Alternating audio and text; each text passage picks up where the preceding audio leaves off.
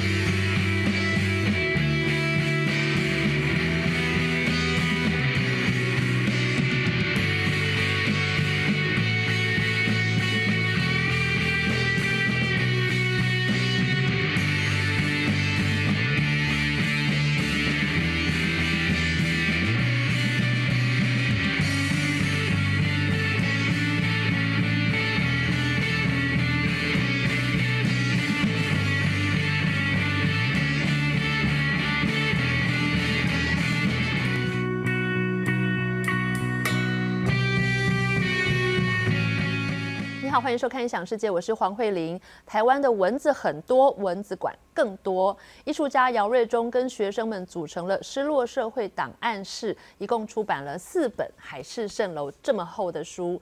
艺术家们一共调查了全台湾四百多件废弃场馆、建筑还有园区，有一些地方废弃的程度简直令人匪夷所思。估计政府耗费了数千亿盖这些蚊子馆。今天很高兴邀请到姚瑞忠老师跟我们谈谈台湾的蚊子馆。老师你好，各位你好，各位观众大家好。老师，你们在书里面前面书封就写蚊子馆的滋生是一场没有尽头的战争。老师可不可以跟我们说一下，你当初跟蚊子馆的战争是怎么开始的？为什么一个艺术家要跑去拍蚊子馆？是，我想这个这个疑问是所有人的疑问啊。对。但是我我我我想反问说，为何不呢？嗯，作为一个艺术家，他不是只是在生产美丽的事情而已啊，粉饰太平而已。我觉得艺术家更大的啊责任，在当代这个社会，他更大的责任是要啊看穿，接呃就是看穿一个现实的黑洞。那么透过了我们我们有拥有的技术跟一些敏锐的观察力，对，啊提出跟一般人不一样的看法。我觉得这是作为一个艺术家对这个社会的一个社呃一个责任的回馈了。嗯，所以你说为什么艺术家要来做这个？我觉得，难道他要去拍更多的淡水河的美景吗？难道要去拍更多的看起来很很很美，可是实际上它有很多问题的一个地方吗？嗯，那种那种那种照片，我觉得太多人在拍了。是啊，我我觉得我们应该要开启另外一个视野。对，这个视野是我们必须要让。呃，等于说我们要看见看不见的台湾，嗯，我们是地毯式的搜索，我们等于是步兵，对。那曾有有另外一个呃呃摄影家做那个空拍嘛，他这个属于空军，我们属于地毯式的陆军。对，而且这个计划二零一零年你们就开始做了。对，二零一零年是这样，我们其实在二零零五年的时候，《中国时报》就做过一个调查，是。那那个调查，我们后来发现。啊，他做的还不是很全面啊，就是点出了很多重要的问题。那么，二零一零年的三月开始呢，我我就一直在思考一个问题，因为那时候我教书也教了五六年了，我觉得老师在课堂上讲西方的美术史，对，这个意义是什么？那画石膏像的意义是什么？那么，所以我就我就想干脆把他们带出教室，嗯，所以我就跟同学第一堂课就说：你们想要我教你们自己看书就可以的东西，还是说你们想要？啊，我们一起去展开一个一个一个废墟的探险。对。那么同学们就举手通通过啦。嗯。所以我们就宣布成立了一个叫做 LSD，就是失落社会档案室，就是 Lost Society 啊 Document。对。那它也是有双重相关的啦，就是说，啊，政府可能会为我们很多 LSD，让你去啊去骗取、去去去争取很多选票，或者说是去。呃，给你很多许诺、美好的蓝图，可是实际上它都是一个幻幻景。嗯，就是政府会给你很多大建设、对开支大开发，对。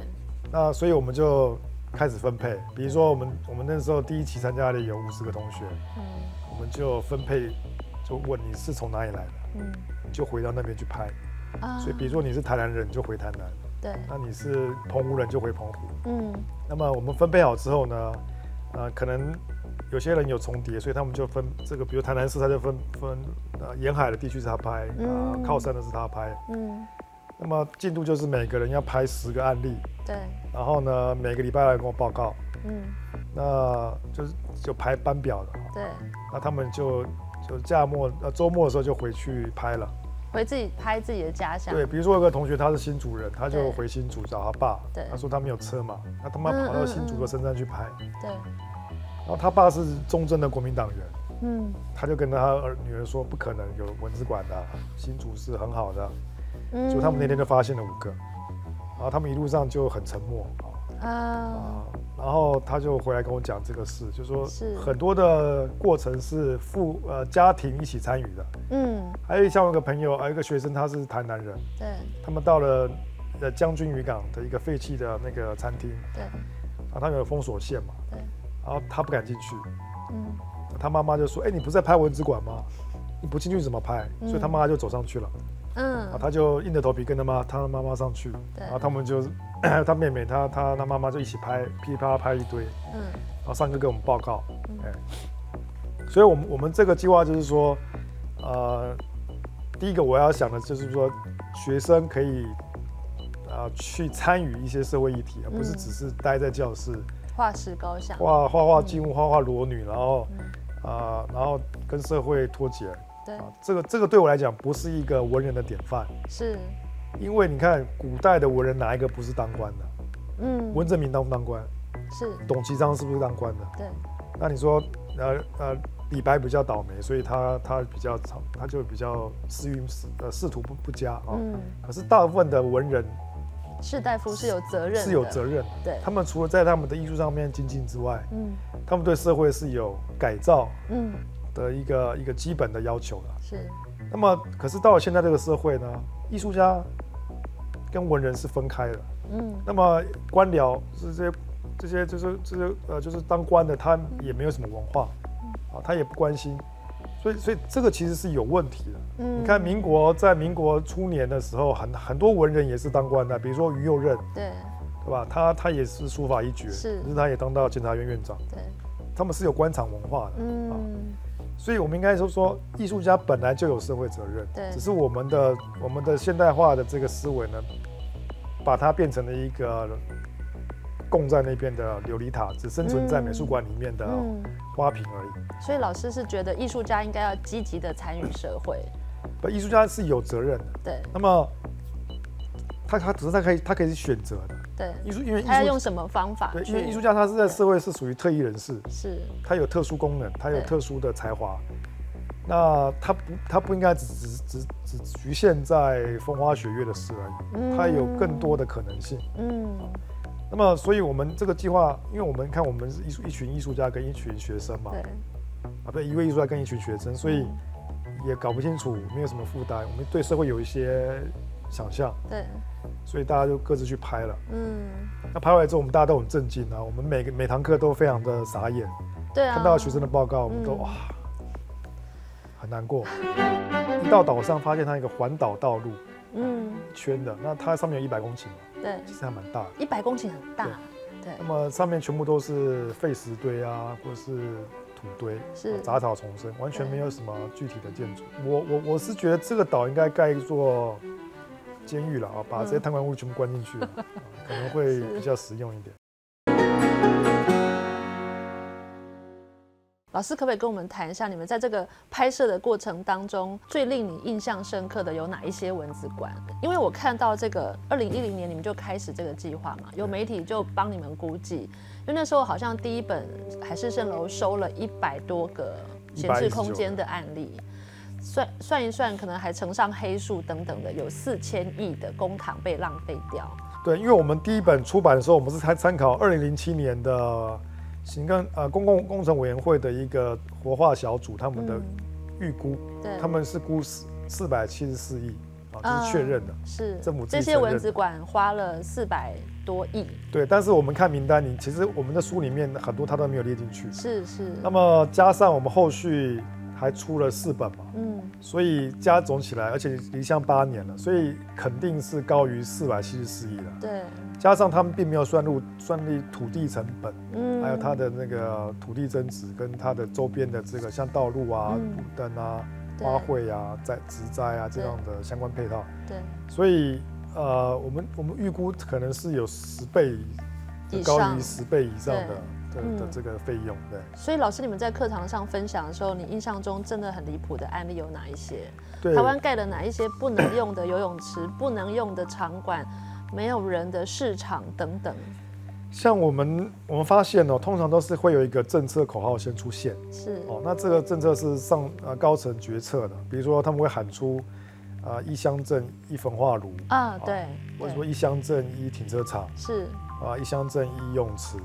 嗯啊，那近期的话就是文创园区跟一些什么环保园区的开发。那么，呃，这样的政策之下呢，因为它必须要落实，所以它它就是一条边的下去到各个呃地方政府去。那他们还会有一些中央补助款啊，跟一些什么竞赛的奖金。对啊，从各地方县市选出来，然后开始补助。比如说像云林焚化炉。嗯，好，他这个花了当时当时我没记错的话，应该花了三十几亿盖，好，嗯，那么民间民间去去营运嘛，嗯，可是因为后来运运能不足跟一些啊一些纠纷，所以啊他就停炉了，啊，那一停炉之后呢，啊政县政府还合还违约，还要赔他，要要要要让他停工啊，拿回来经营权，还给他三十几亿啊。前后就花了六十几亿，对，所以那个那个就很荒谬。那个真的叫烧钱，就是烧钱的。但是这个还算是小钱，还有更多的，比如说高雄新达港就花了啊大概六十八亿，嗯，七十亿左右，那现在还在增加当当中，那也是政策的这个呃呃判断的这个错误啊。嗯，那么像还有离岛工业区也花了一百多亿，啊，光是填那个一百公顷的海就花了一百亿了。老师，你讲一下这个离岛工业区好不好？我当初在看你们纪录片的时候，真的感到很震惊。那个离岛工业区是凭空当中堆出一个，对，它以前是海丰岛，它把它填掉，然后在六轻的正对面的一个一个一个小岛。那么政府当时是希望在那边盖四个工业区，包括麦寮、台西啊，还有这个呃离岛工业区、新兴区。那么这几个区后来因为呃民众的当地民众的反对跟环保意识抬头，嗯，啊加上那个很多的原物料的这个呃涨跌的关系，所以他们只盖了麦寮。对。那你看麦寮也对云林造成巨大的影响，生态的影响。是。所以这个这块离岛工业区那时候就等于说是你就把一百亿的台币全部丢到海里面去了。对。那填了一百公顷的海。真的是直接把钱丢到海里去。回到根本来看，就是说，台湾在进行这种高污染产业的时候，是否要牺牲掉很多我们的生命、呃居民健康跟一些呃子孙的这个这个，就说他们的啊，你你你只贪图啊短呃短视，而忽略了长期的这个利益，其实是必须要去思考。这真的是错误的决策，比贪污还要严重。是。那么，因为我们都是摄，因为我那堂课是摄影摄影课，所以我在请同学们去拍照的时候，不会是只拍表面，嗯，他必须要一个，比如说这个工业区好了，一个同学要拍一百张，各个角度，然后他必须要去调查它的来龙去脉，对，啊，所以每个同学都很像一个侦探，他必须要去做，呃，乔装成呃游客啊，或是雇船去登岛啊，对。或者或者说是潜入啊，嗯，那所以我们报时的理念就是说，呃，摄影它是可以变成一个强有力的证据了，嗯，它是必须要说服，嗯，它说服人们啊，他我们要给大家看到是真实的东西，对，而不是只是一个被修饰的，嗯，一个美丽的东西而已，是，因为我我们就不是观光局嘛，对，所以我们必须要做的是一个像，呃。实地踏查，对，实地去感受的。对，老师，我们看一段影片，那时候好像是老师也跑去渔港嘛，去拍现场拍了一段。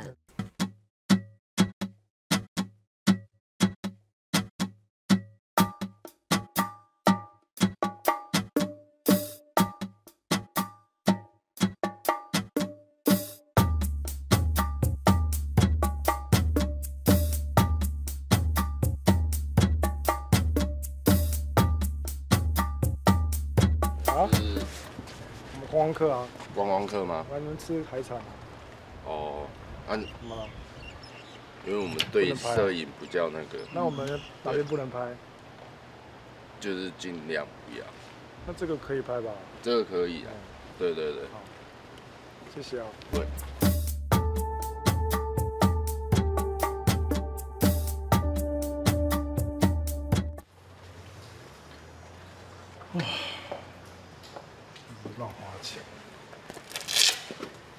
老师，你刚刚那个渔港是在哪里？苗栗。它不能拍照吗？它是观光渔港，可是有警察跑来叫我不要拍照，我也觉得蛮纳闷的。你不是要推展观光吗？对。那你他因为他是海防，他的职责所在。是是是。所以我觉得有些呃观光的这个法令跟那个沿海渔港管制的法令可能要调整搭配一下。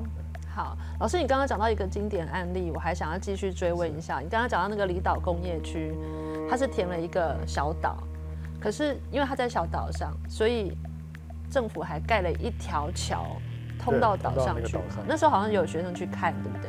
对，因为地方很难找，呃，完全没有标示。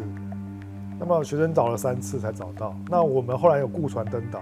嗯，我们我们雇了当地的渔民，因为他们对这个岛非常感冒。对，因为他改变了当地的这个海象，是让他呢他们的那个做那个牡蛎的这个这个这个生态整个破坏掉。对，所以他就带我们去登岛。嗯，我们登一到岛上，发现它一个环岛道路，嗯，圈的，那它上面有一百公顷，对，其实还蛮大。一百公顷很大，对。那么上面全部都是废石堆啊，或是。堆是杂草丛生，完全没有什么具体的建筑。嗯，所以他基本上他就做办过一次活动，就是举办了小朋友的放风筝比赛，哦，在那岛上面放风筝啊，其他都没有做。是，所以我我我是觉得这个岛应该盖一座监狱了啊，把这些贪官污吏全部关进去，可能会比较实用一点。我们缴的税。嗯交由我们选出来的公仆去管理。对，好。那么如果他们随便，呃，管理不善，管理不善，或者说是监督不周等等的，对，或是有利益利益的关系的话，嗯，那基本上他就是在偷窃我们的交付的管理的财产。对。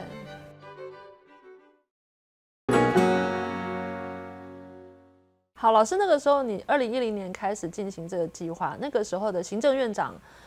吴敦义院长也非常关切，还特别把老师找到了行政院里面去嘛。是，其实呃，一见报之后，我就接到一通神秘电话，嗯，来呃，从总统府打过来了，嗯，啊，马英九他的那个呃礼宾司的司长打来了，是，那他们就是说那个总统之意。那过了十八分钟之后，吴敦义亲自亲自打电话来，啊，不是吴敦义，那个萧万长亲自打电话来。嗯，说那时候是副总统，对，他就亲自来跟我们说道谢这样子。嗯，那后来这两位打完之后，吴敦义也打过来说要约见面。嗯，那所以我们跟呃吴院长啊面谈。嗯，那当时我们就提出了几个诉求，就说啊，你必须要你要先管控嘛，你要有名单。对，所以你必须要求。地方政府啊，中央机构把名单做一个仔细的清查，嗯，因为他们完全不知道有多少，对，那你没有名单，你没办法就没办法管制，对。第二个就是我们希望释放一些空间给啊一些需要的弱势团体啊，或是慈善机构啊，嗯，或者说是义文工作者。然后我那时候是建议呃吴院长不要什么都 BOT，嗯，因为 BOT 啊的确是一个模式，但是它。并不适合于每个模每一个案例。那么，可是后来你们大家看看到，台湾到处都在 BOT，是，到处都在跟台财团就是一起在啊，有很多的这个开发案合作开发。对，那连开案，那当然有中间有很多的弊端，在慢慢浮现啊。那么后来我们还我们还建议就是说，呃呃，这样的空间处置呢，啊。就是说我们是提出，它必须要减低当地的负担，而不是你盖一个出来之后呢，没没办法推动当地的发展，反而成为当地负担。对，所以你必须要用引进适当的这个团体去营运啊，或者说是用低廉的租金吸引。是啊，你看年轻人离乡了。对对，他们你要想办法吸引他们回乡。嗯，那你一个地方吸引年轻人，就代表了希望。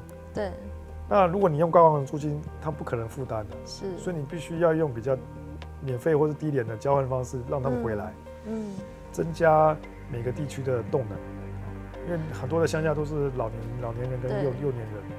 结果后来有成效吗？行政院长也接见，总统也致意。后来呢？呃，后来他们呃，后来政府的确有做了很多活化措施，但是我们在二零一一年的十月，就是呃吴敦义见面的那个谈话中年，我们出了第二集，对，十月八号又出了一本，因为因为政府以为你出完了，结果你又再出了一本。他们以为我们就是一，他们说一年之内要活化嘛，对。那我们觉得好像不太可能，我们又碰到很多案例，所以我们就出第二第二集。这就是第二集，然后也是这么厚。老师，你每一本都这么厚，对不对？差不多都是七百页左右。对。那后来出完这个之后，政府就很安静了，那他们就很多的呃开始活化措施了。嗯。那么中间我们停了一年观察，是。然后到了第四年，我们再出了第三集。对。啊，那这时候公共工程委员会就找我们去开会了，是。就啊，就是开始去检讨整个的操作啊。嗯。就是政府在制定政策跟啊实际的操作方面，我们给予一些建议。嗯，那后来去年十月我们出了第四本，嗯，那我们我们我们希望就是他做一个长期的一个监督呢，那么也许会有用。如果你只是出一本的话，我觉得可能就是一个点状式，对，把它变成个带状式的话，政府的这个压力可能会，嗯，比较他比较清楚说这不是一个作品，这是一个长期的，对对对，它不是只是当下发生就结束的。而且老师会有不断有新的学生进来，会一直持续，所以它也是一个 training 的过程，一个训练过程。嗯，那么同学他们经过了这个洗礼之后，他们会更了解一些现实上面的问题。是我印象非常深刻，姚老师说文字馆是一种政府对人民的偷窃。不是我说的，我们其中一个呃作者说的啊，高高君宏说，不过这也不是他说的，这是那个以前法国一个哲学家说的。嗯。那么你知道，因因为我们这关键这样子，我们缴的税，嗯，交由我们选出来的公仆去管理，对，好。那么如果他们随便，呃，管理不善，管理不善，或者说是监督不周等等的，对，或是有利益利益的关系的话，嗯，那基本上他就是在偷窃我们的交付的管理的财产，对。所以这样的说法其实是合逻辑的，是。那么。呃，文字馆很多都是我们付的税去做，嗯，那它没有产生效应，反而变成负债的话，嗯，那这个债还是回到我们身上，对，所以我们是全民要去，所以我们就变成负债，对，我们还掏钱去让我们自己负债，所以这个是很吊诡的一个现象。是，老师会把这个视为一个长期的文化运动，一直持续的监督下去。对，我们我们是把自己定位为微型的呃呃公民运。微型公民运动了，或是文化行动啊，微型的公民运动。因为我们的我们的团体大概每一期都有五十个左右，对，一年大概五十个，所以都学生，对。那么所以很危险，嗯。那基本上我们碰到的问题，不是这个社会中最急迫的问题，嗯，还有很多急迫的问题是需要解决的，是。但是我们就长期在做，对。那么希望透过了一个就是就是抛砖引玉啦，希望。啊，很多学校的老师或是学生也可以啊，针对他们个别议题，嗯，普法炮制，关心自己的家乡，当然监督自己的政府。嗯，今天谢谢老师来跟我们分享台湾的文字馆，谢谢，谢谢，谢谢。